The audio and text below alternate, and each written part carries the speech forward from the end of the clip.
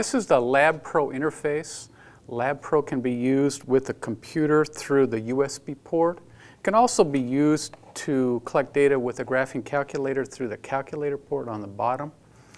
It supports all TI graphing calculators. For example, it, it supports the TI-83 Plus. When you purchase a, a, LabPro, it comes with the necessary equipment to connect your graphing calculators to the LabPro. This cradle right here allows us to use the 83 Plus.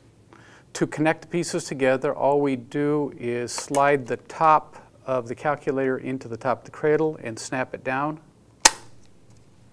Then the cradle will slide on the top of the LabPro. Clicks. The small cable plugs into the bottom of the calculator. And then it connects into the bottom of the LabPro. And then we're ready to collect data. Recommendation is the TI-84 Plus. It's a different size than the 83 Plus, so it has a different cradle. Both of these cradles and the cables come with the LabPro.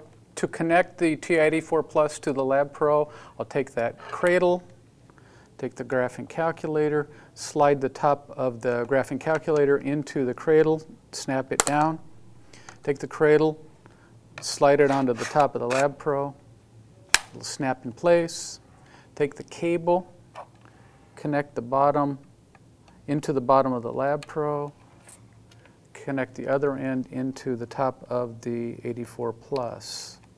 Then we're ready to start the EasyData application.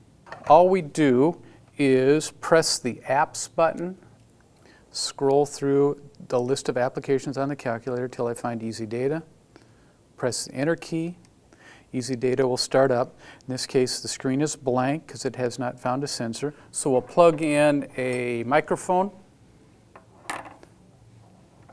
When we do that, the microphone will be recognized. It will auto ID the microphone and set up an experiment. All I have to do is take a sound source, in this case a tuning fork, strike the tuning fork, hold it close to the microphone, and press start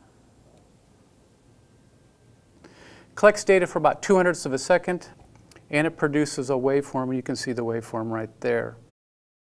This is just one example of the type of experiment that you could perform with this equipment. We have over 50 other sensors that could be used with uh, the LabPro and the TI calculator. Those sensors would allow you to do investigations in biology, chemistry, physical science, physics, water quality. We also have an extensive set of curriculum materials that would cover those subject areas, and they also cover math.